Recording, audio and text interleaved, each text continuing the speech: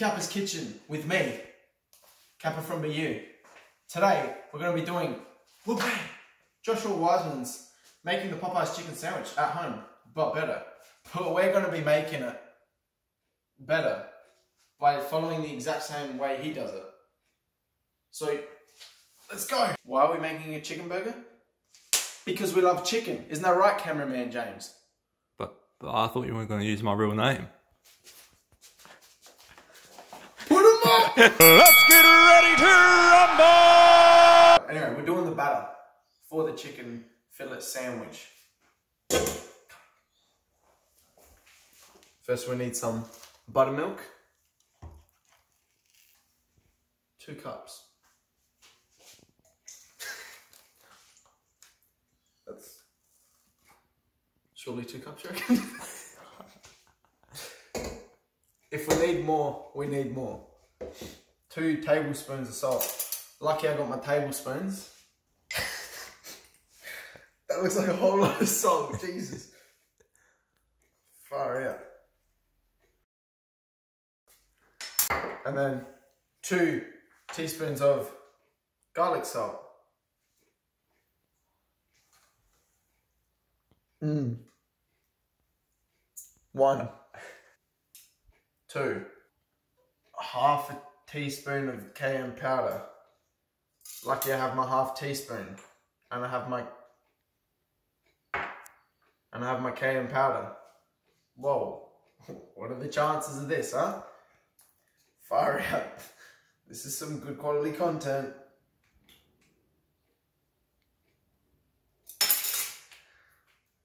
Turns out there's a seal on it.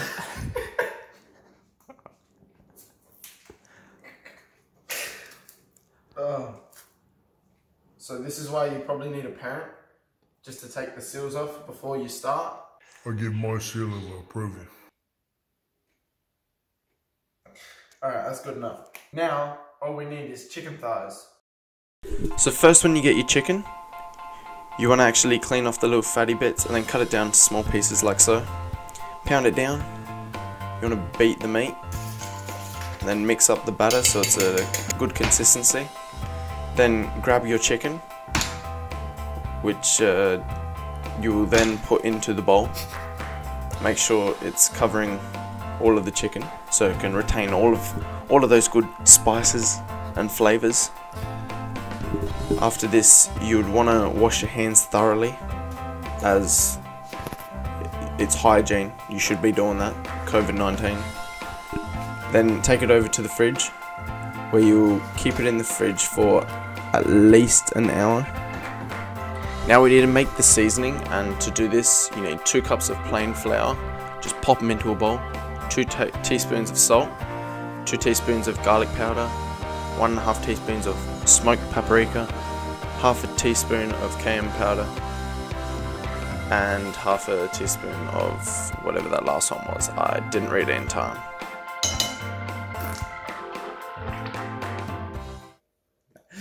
Trying to zoom into your toes. On behalf of us at Kappa from BU, the production staff and everyone, we would like to apologise. We don't condone that kind of behaviour and we don't like it representing us, that's not what we're about. But anyway, this is the recipe for the mayo that Joshua Weissman made. You don't have to make the mayo, you can just use anything you want really. But we decided to make it because, well, we did. Anyway, you get your batter out the fridge, and uh, you put your chicken into the seasoning. You want to pat it down just so it gets all through it. Do so for all of it, and then uh, it's ready for frying. Also, recommended tip: don't eat it. It's not cooked. So you want to get your your pan. I've got a bit of a deeper one because you got to put oil in it. I used the wrong oil. I used olive oil. Use like canola oil or something that's actually meant for cooking. My mum had a go at me and it wasn't pleasant. So don't do what I did. I also put the heat a bit too high. Use like a medium heat. You don't need it to be too hot. Otherwise it's possible that you may burn it. Not that I burnt it. Use tongs, they are also advised in this kind of situation. As using your hands, you could burn them because the oil is hot. I also recommend doing two at a time, just because that's what Joshua Weissman recommended, and I'm not a pro chef.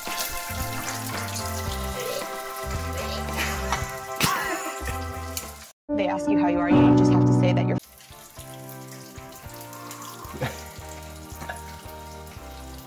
If you cook it right, you know, it might be alright. Focus on the chicken, you know? You're about to burn it. Yeah, I forgot to. Mmm. So burnt. Tastes like. Something not good.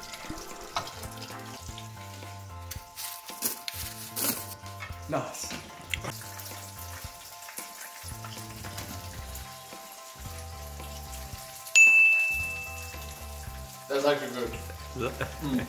So cut your bun. Remember to toast the inside so it doesn't get all soggy when you add the mayonnaise. And then uh, put some pickles if you want pickles. You don't obviously have to. The chicken, bit of cheese. You can toast your cheese or melt it, whatever you want to call it. Bit of lettuce.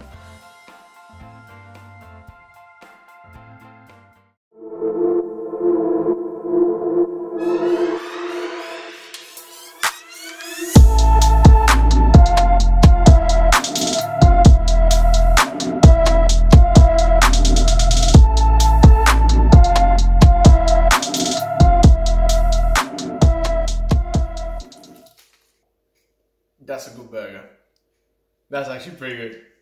Bon appetit.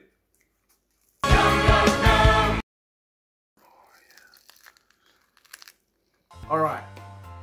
Now, the chicken burger. It was good. I did enjoy it. Crunch factor was there. That's what you need. Flavor was there. Was it better than the Popeyes chicken burger? Well, I don't know.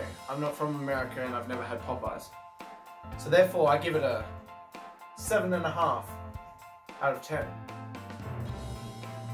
Good burger, I'll give it a solid 7 out of 10.